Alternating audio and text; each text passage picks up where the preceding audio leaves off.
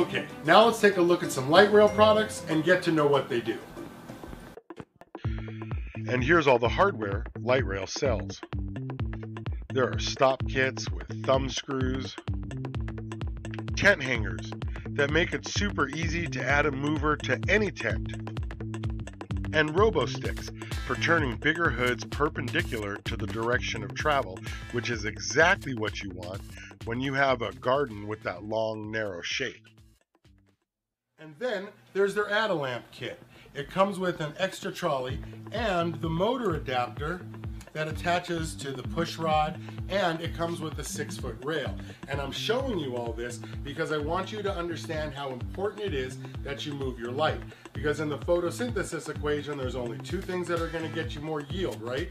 And that's more light and more CO2. Remember, yield is based on light and quality on grower talent. And that's because in the photosynthesis equation, plants use light for energy to combine water and CO2 into sugar and oxygen.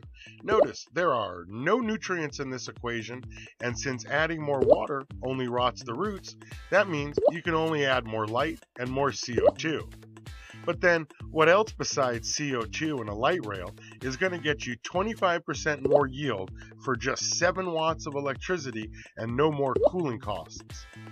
That's why this image is so important, because once you invest in a light or two, not moving them is crazy. They also have trolley and motor replacement wheels. There are four wheels and four screws in each kit, and Gualala even has an extreme duty wheels kit that can support today's biggest hoods.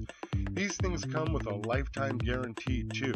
Imagine that, more yield for less money and a lifetime guarantee. You can't beat that.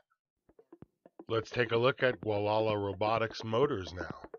They have a 3.5 that lets you control the delay, and the 4.0 that lets you control the delay and the speed. And if you need to replace the drive wheel, there's a kit and a video on how to do that too.